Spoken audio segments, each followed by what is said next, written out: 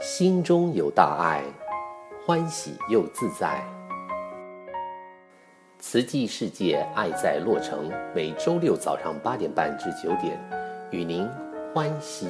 有约。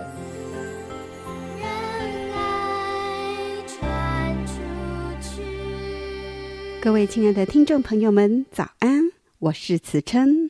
欢迎再次收听《瓷器世界爱在洛城》。希望接下来的节目内容能够陪您度过一个愉快的周末清晨。首先，在节目一开始，此生要与听众朋友分享两句静思语：人生无常，一天能平安就是一天的福。在平安中，应该惜福，并为人群多造福。所以，我们在平安的人需要帮助有难的人。我们何其有幸生活在富裕的国家，可以远离战争与灾难。但是，生活在伊拉克或叙利亚的人，为了远离战火，必须远走他乡，成为颠沛流离的难民。在约旦边境的难民营，每天仅供一餐，而在那里的老人小孩常常因为营养不良而无法存活。所以在约旦的慈济人。长期持续关心叙利亚难民，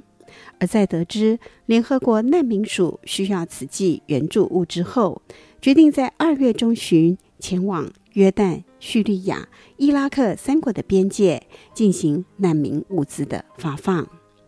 约旦的慈济人准备了一千五百份的水和粮食，以及保暖的毛毯前往发放。凌晨三点钟就出门。而这一趟路总共有三百五十公里路的遥远。当抵达边境的时候，驻防军队因没有接受到指令而阻止。虽然经过协调，他们愿意放行，但是还是顾虑安全，再次的劝阻，要求先把物资留下。但是慈济志工坚持尊重直接的原则，反而说服了军队一同前往。现在就让我们静下心来。一起来聆听正言法师在二月二十三号的志工早会开示，讲述这一段经过。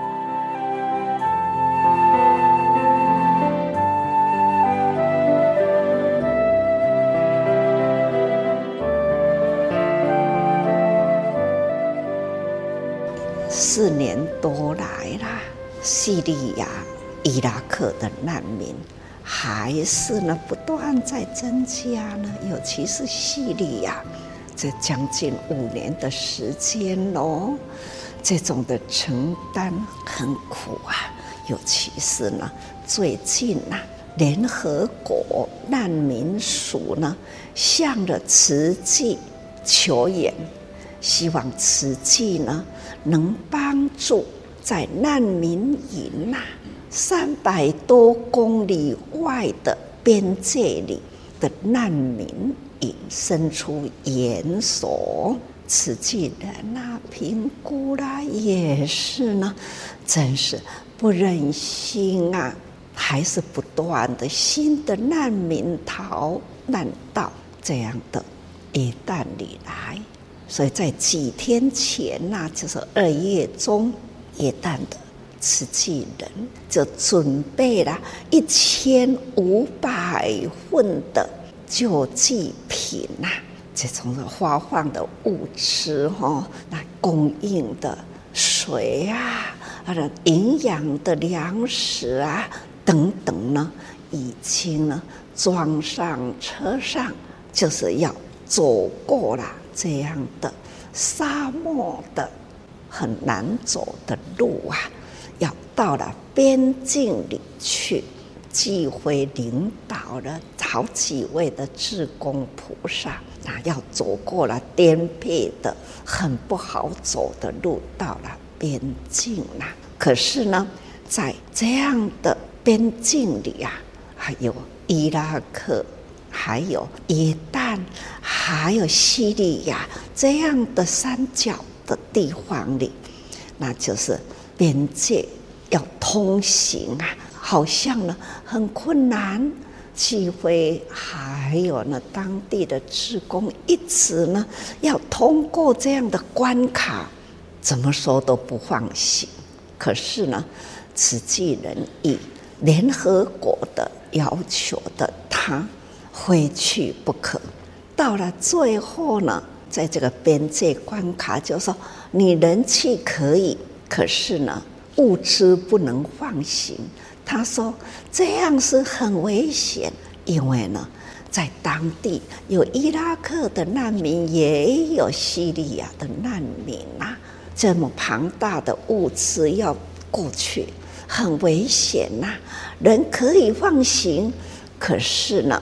这个物资就留着我们代替你们去发放。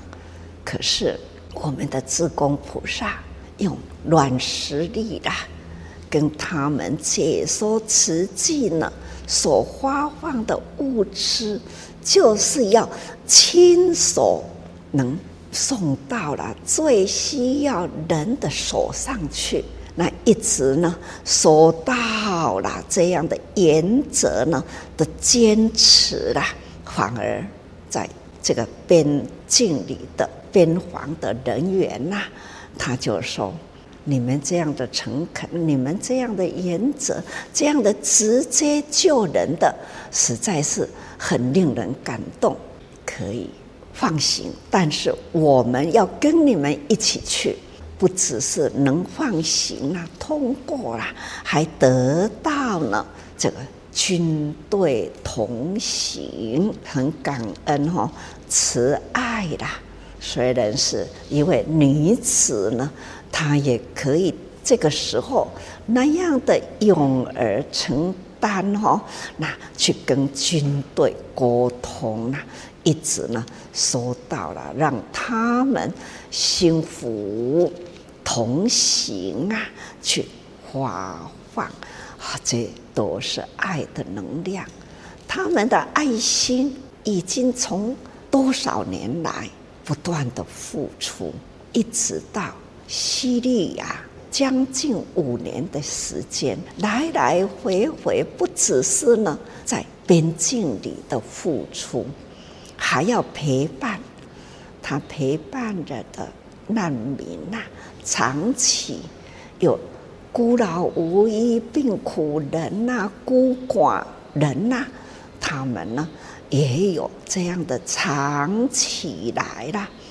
不断的关怀的。每个月都发放，这就是长期关怀户哈，也是呢每个月去发放的。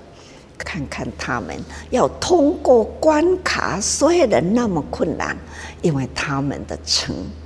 付出无所求，那样的诚恳呢，也可以通过。不只是路口通，还得到了军队的保护啊，到达了。难民边界去发放，可见呢这份诚意、大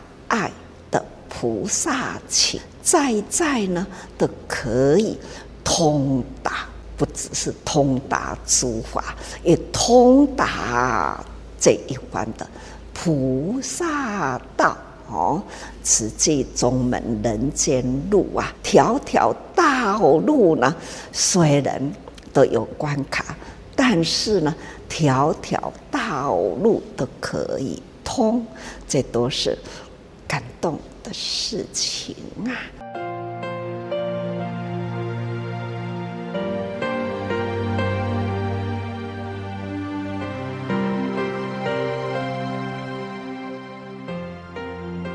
感恩正言法师开示：爱不分远近，只要撒下爱的种子。就能够渐渐的扩大到寰宇，这就是慈济五十年的过程。大爱之道广披寰宇，长情之路古往今来，哪里有需要，慈济人就往哪里去，同时也会一直持续陪伴在需要人的身边，拉长情，扩大爱，在人人心中撒下爱的种子，也让人间绽放希望的花朵。而慈济大爱的理念也着重在教育方面，所以慈济发展出以爱为基础的完全教育，希望人人能够自我管理，也就是自爱，而不止自爱，还要爱人。正言法师曾经说：“自爱是报恩，爱人是感恩。”所以要教导孩子懂得知足、感恩及报恩。为了让听众朋友更深入了解慈济特殊的人文教育，以及着重在品格教育的特色，我们在上一集的节目当中，请校长详细介绍慈济大爱小学的缘起以及它的特色。同时访问的几位就学中的小朋友，以及教中文的王老师，因为他非常注重让学生在不要有压力的环境下学习，所以每位小朋友都非常喜欢学中文。除此之外，慈济大爱小学的老师注重的不是按照课本来教学，而是根据小朋友的学习状态来教他们。今天我们将继续访问正在上课教英文的老师。他又是如何来教小朋友的呢？我叫 Mary Carlson 啊。那老师，你可以不可以跟我们讲一下，就说，哎，您是用什么样方式来教小朋友？啊啊，其实我教小小朋友 每天都不一样，真的每天都不一样，因为就小朋友的脾气可能每天也不一样，所以当一个老师，嗯，就希望你每天可以就。了解他们的情况，因为他们每一天都有进步，也每一天都会有一些困难，所以你要帮助他们，就是拿着他们的手，跟他们一起走这条路。所以每一个小朋友就看我们这个班，每一个小朋友的能力现在是不一样的，希望他们都可以发掘自己的一些特色、一些能力。觉得你在这个呃小学教的跟其他啊。呃，学校的哈，呃，私立学校教的方式有没有什么不一样？你有没有 compare？当然是有一些不不同的地方。嗯，我觉得你你看别的学校不一定会有就人文课，或者就华导课，或者那个茶道课。我去年因为很忙，都没有没有特别去那我们的那个人文课。可是我今年因为带着那个幼儿园，所以我每天陪我每一次他们每一次上这个课，我每一次陪陪他们上课。然后我就觉得那个特别是那个花道课，我觉得他们真的可以去了解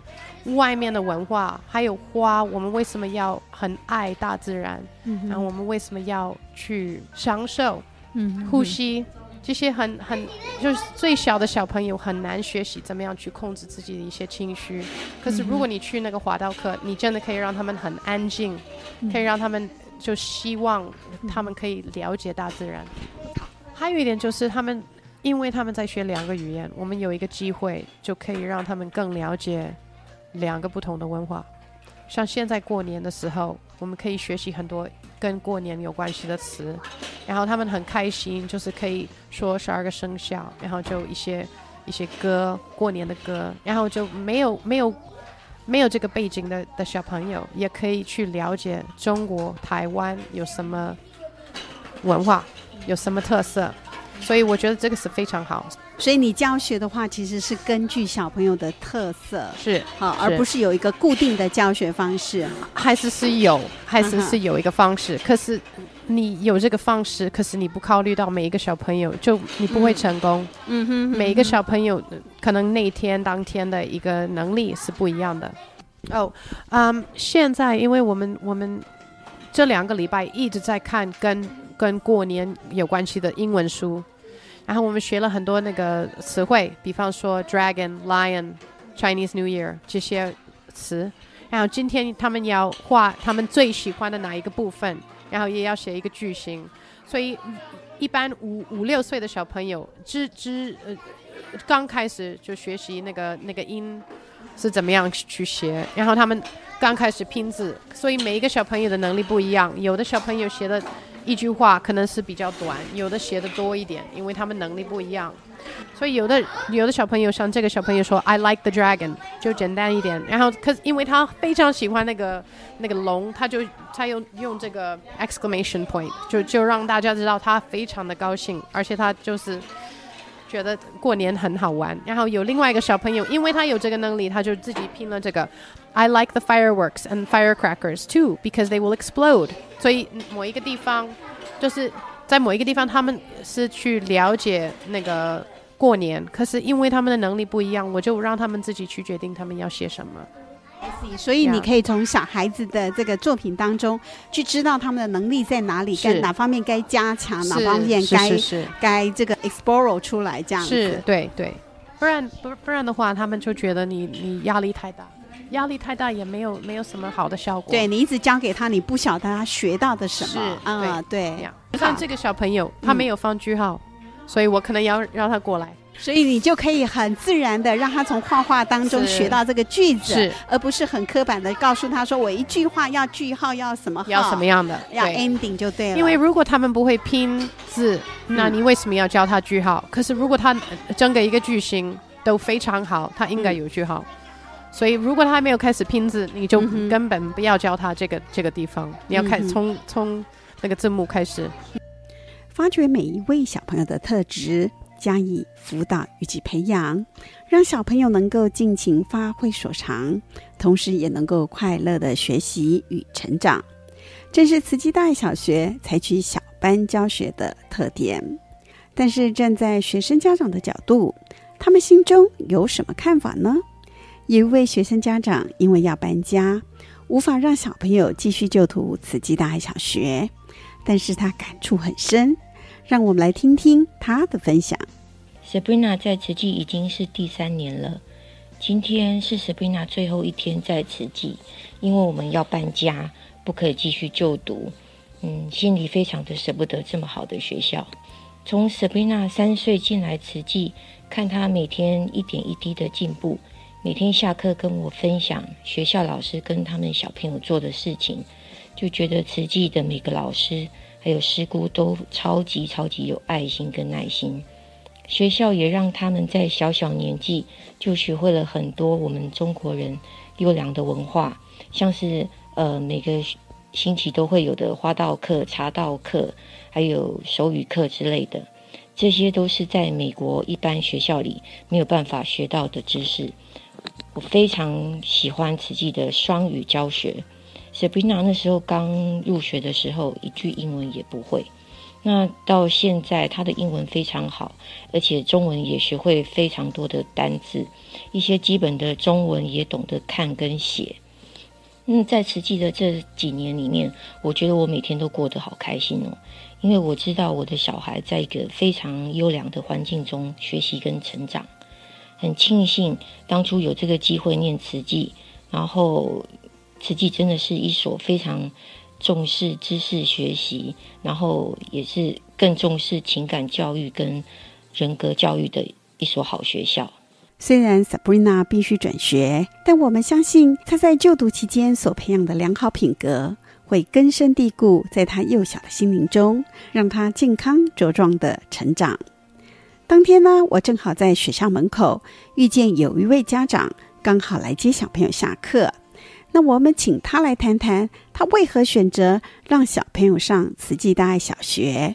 那以及他对这所学校有什么看法呢？呃，我叫 Angela，我小孩子叫 Max，他是嗯大爱小学二年级学生。二年级学生，好，那那个 Angela 可不可以呃跟我们听众分享一下，您当初怎么会决定要选择这个慈济大爱小学呢？当初会选择慈济小学，是因为它有双语的教学环境。嗯那我们希望说，除了在接受美国正式的教育之外，嗯美式的正式教育之外，他还可以接受嗯中中式的教育。对，哦，原来是这样子。那这附近呃没有其他像诸如此类的小学吗？其他的嗯私立小学我们有去看过好几家，可嗯。是中文课并没有包括在里面，是另外要再加的。那嗯在这边的话，他的中文小学就是他的日常课程的一部分。嗯哼，对我们是觉得说，因为他嗯年纪还小，所以希望他在年纪小的时候打好一个中文的基础不排斥学中文，所以希望能够变成学中文就是他日常生活、日常课程的一部分。那您觉得您的小朋友在这边上学之后，回到家里跟你有什么样的互动？有什么不一样的呢？嗯，他最大的改变就是他愿意去跟他爸爸讲话了。以前他小时候是因为在学校讲的是英文，嗯，所以爸爸讲的是国语，所以他回家的时候，他的国语的词汇量不够多，嗯，所以他比较不愿意去跟他爸爸沟通。嗯，那现在在这边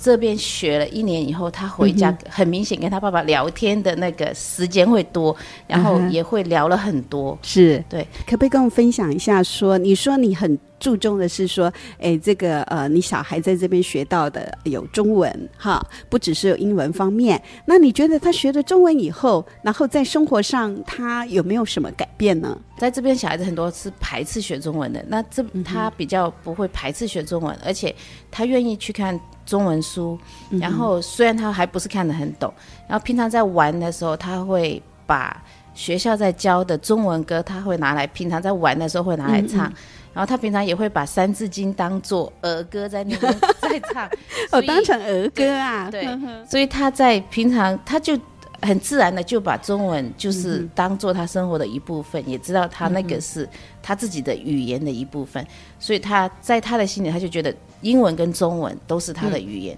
那他在平常生活上，他也很自然的就会用到中文去跟长辈沟通。嗯嗯嗯嗯，这一点非常的好。他在这边的中文学校有教一些嗯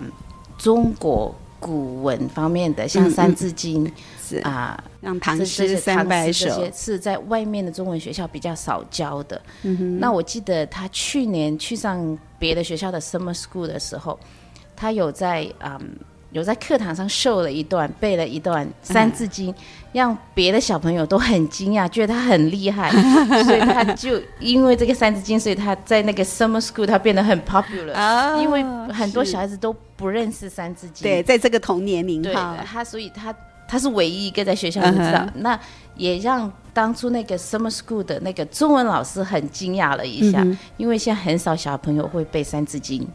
哦，对对，这样子真的是就是跟同年龄的小朋友有点不一样。还有没有其他就是在你小朋友身上的故事啊，或者是你作为一个家长，你想要跟我们讲的呢？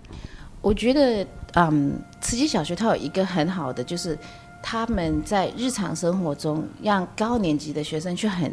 照顾低年级的学生，所以这就在外面公立学校里面没有我们所谓的霸凌。啊呀，对对对我记得他在一年级的时候，有一天我来带他啊、放学的时候，我看他一个人在那个在洗洗那个他们画画课用的画具，嗯嗯，那嗯就只有他一个人在洗手间里面洗。我后来看到老师就把一个二年级的学生抓过来，就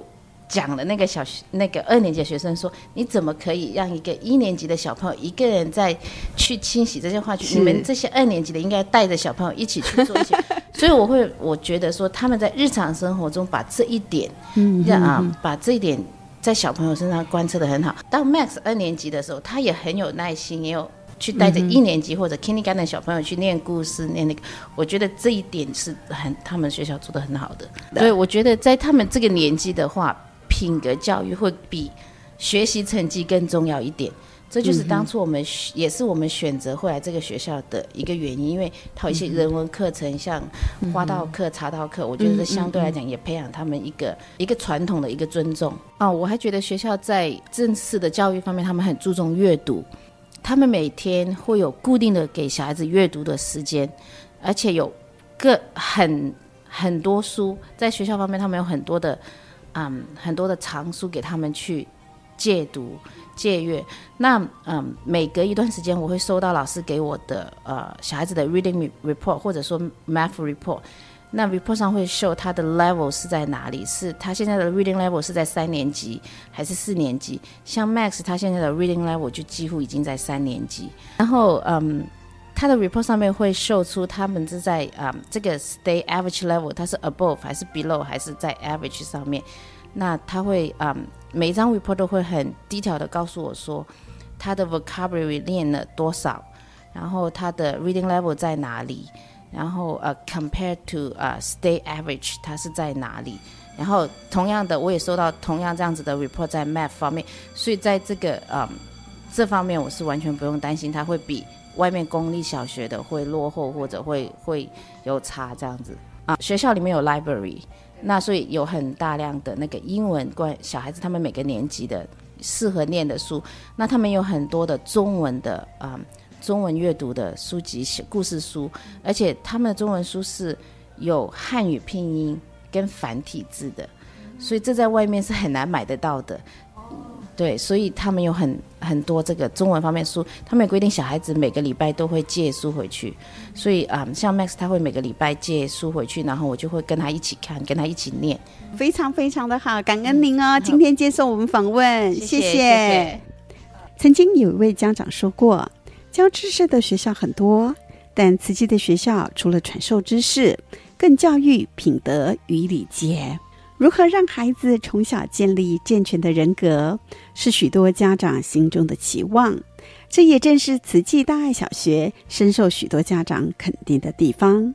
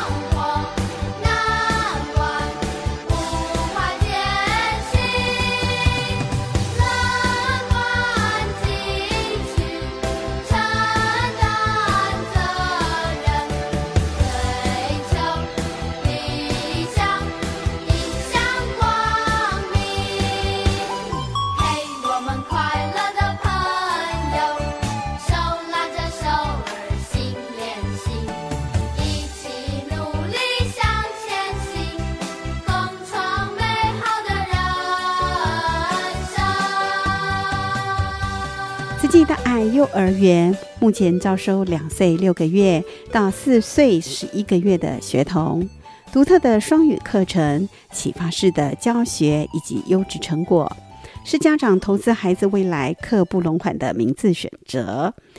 有两个校区可供家长选择：蒙洛维亚校区临近阿凯迪亚市、天普市、圣盖博以及阿罕布拉市。而另外一个核桃校区位于菲尔韦以及口利马的交叉口，紧邻钻石岗、奇诺岗以及罗兰岗，交通便利，欢迎有兴趣的家长们来电洽询。你想为孩子安排一个快乐有意义的春假吗？慈济青少年活动中心在核桃教育园区举办二零一六年快乐儿童阅读营。日期是从三月二十八号到四月一号，每天八点半到下午四点，邀请六到九岁的小朋友来参加。报名截止日是三月十一号，欢迎来电洽询报名专线。生老病死是人生的自然法则，但是大部分的人都避免讨论与生死有关的话题。但是你的生命应该由你自己来决定。因为你是你，即使在最后的一刻，你仍然是最重要的。慈济静思书轩将在三月十九号星期六举行一场“我的生命我做主”的生命关怀讲座，邀请生命关怀工作坊与美华慈心关怀联盟的创办人陈明慧女士来主讲，时间是下午的一点半到四点半。因为座位有限，请赶快来电预约报名，以免额满。来电请拨我们的听友服务专线九零九四四七八六一二九零九四四七八六一二。今天我们慈济世界爱在洛城播送到此。如果您对今天报道的内容有任何问题，请拨我们的听友服务专线九零九四四七八六一二九零九四四七八六一二。谢谢您的收听，下周六同一时间空中再会。